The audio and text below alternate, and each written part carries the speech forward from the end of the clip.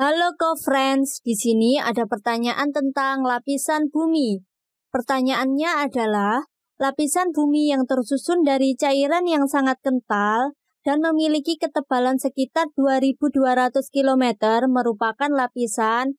Jadi, lapisan bumi itu ada pertama, kerak bumi, yaitu lapisan terluar bumi yang merupakan lapisan tanah dan bebatuan yang terbagi menjadi dua kategori, yaitu kerak samudra yang mempunyai ketebalan sekitar 5-10 km dan kerak benua yang mempunyai ketebalan sekitar 20-70 km.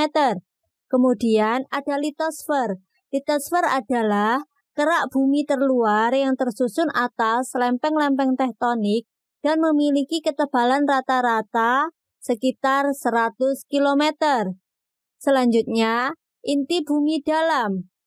Inti bumi dalam adalah pusat bumi yang padat dengan ketebalan sekitar 1250 km yang tersusun berupa material padat. Kemudian, inti bumi luar yaitu memiliki ketebalan sekitar 2200 km dan tersusun dari cairan yang kental.